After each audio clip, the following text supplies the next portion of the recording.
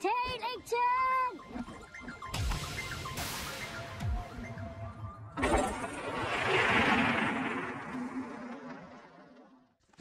Ich wollte euch doch mal zeigen, wie das aussieht, wenn das Schaltwerk kaputt ist, beziehungsweise hier die Feder nicht mehr will. Dann geht dieser Arm nämlich nicht mehr zurück. Es lässt sich alles noch wunderbar bewegen, aber hier die Funktion ist weg. Und da das, den kleinen Bolzen, den muss ich gleich wegschrauben. Dann komme ich da dran.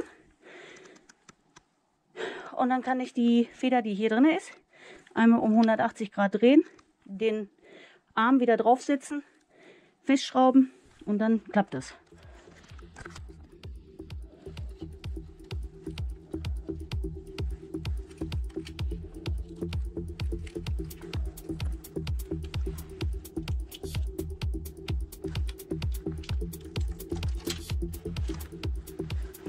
Und schon ist die Kette draußen. Das Schaltröllchen lege ich mal an der Seite, die passende Schraube auch damit mir nichts durcheinander kommt.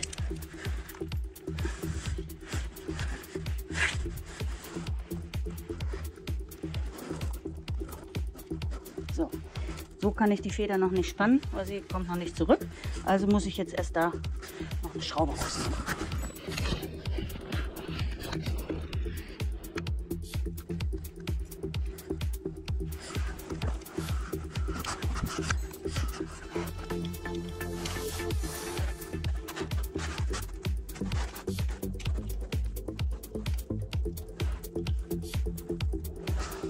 So, Schraube austauschen.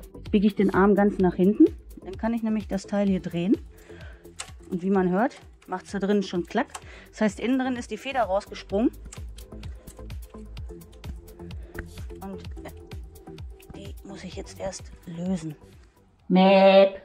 Tja, so ist das, wenn dann die Feder doch kaputt ist. Dann guckt die da oben raus.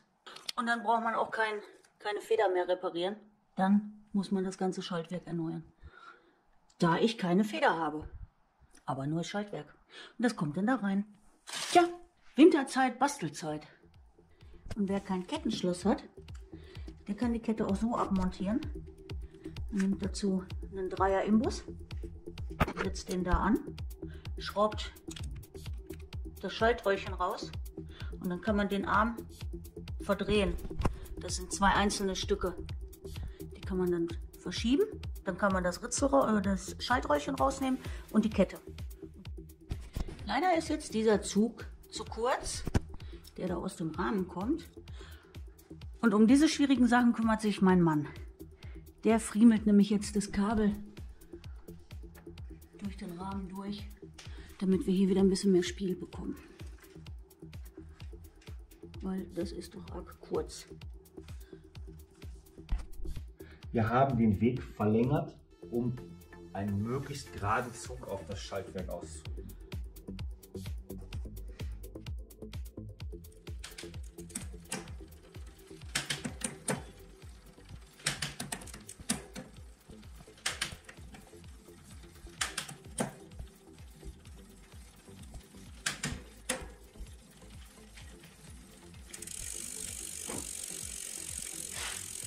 Wurden noch alle Schaltvorgänge ausprobiert.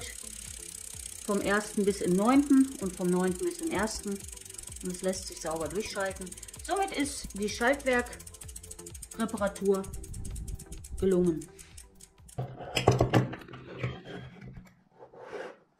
Das ist nun das defekte Schaltwerk.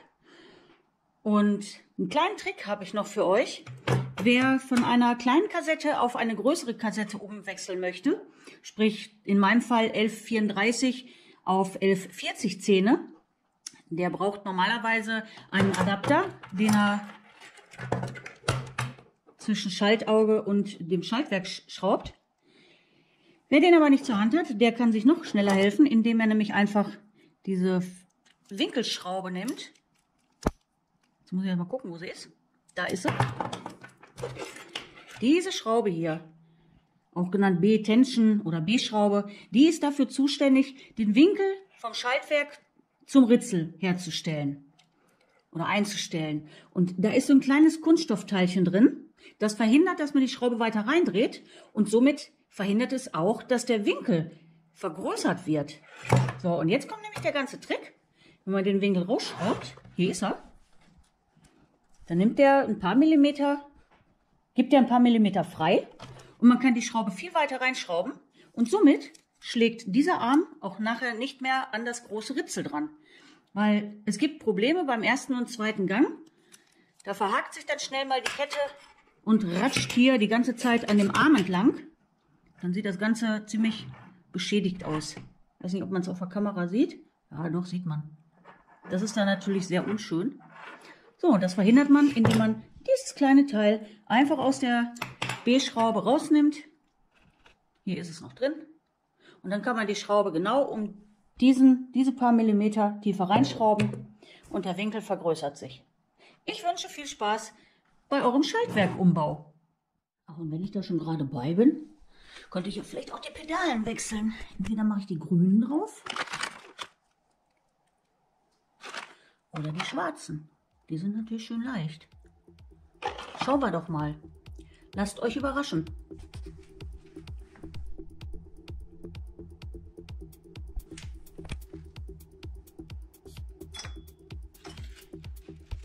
So, zum Lösen der Pedalen brauche ich jetzt einen 6er Imbus.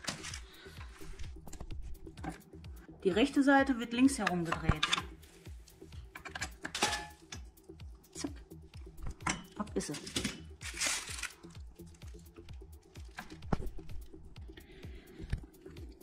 Noch kräftig anziehen und dann ist es fertig.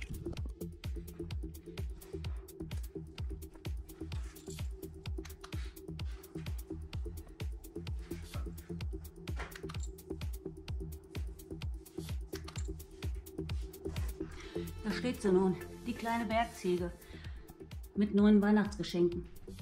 Pedalen sind jetzt auch drauf. Schön lang Pin. Das Schaltwerk funktioniert jetzt auch wieder 1A. Fertig ist die Ziege und kann bald wieder auf die Trails. In diesem Sinne würde ich sagen, bis bald im Wald.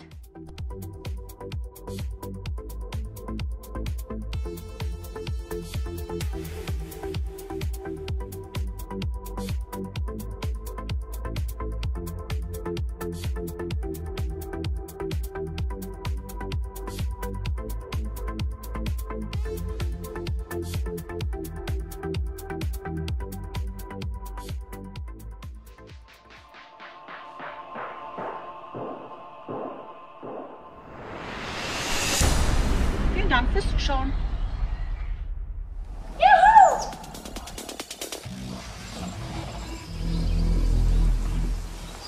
Habe ich euch schon mal gesagt, dass ich senken mag?